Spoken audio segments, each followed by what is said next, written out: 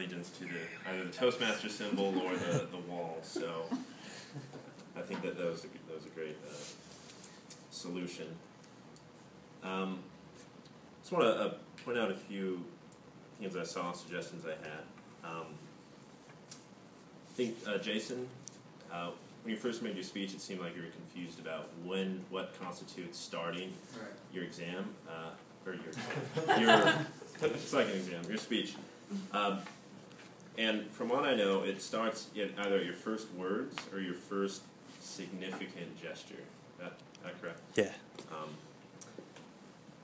I, I also thought um, trying to prepare to be general evaluator. Um, I know I didn't get here on, on time to, to really help out, but uh, I'd like to make the suggestion that just to make sure that the person who is evaluating know that they know who they're evaluating before before that starts. So maybe when we ask uh, at the end of the meeting for who's going to do roles roles the next meeting, we'll link the evaluator right then with the person, and then also, person giving the speech could say what speech they're giving, so then the evaluator can prepare by looking beforehand in the uh, the, the note the um, The main. Manuals. handbook, one of the manuals, if if they have it with them.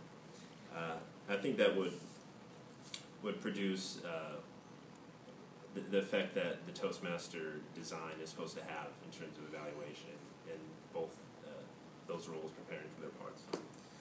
Um, Mark, uh, it was a fun um, top, uh, table topics. Uh, thanks for incorporating the word of the day. That's something we, we've been forgetting sometimes.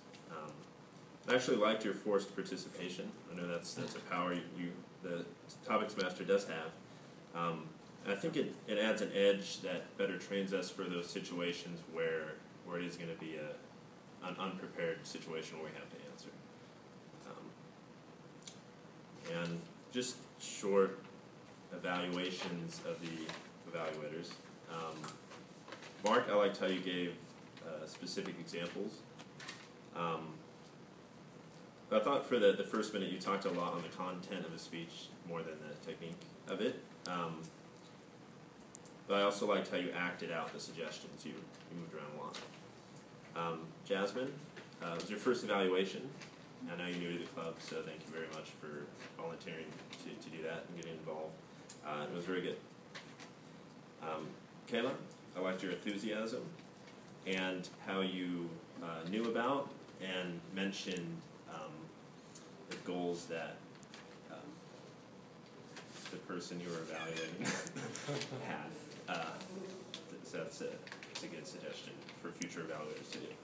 Um, overall, it was a fun meeting, and I'm glad there's a lot of new people here, and I hope you, you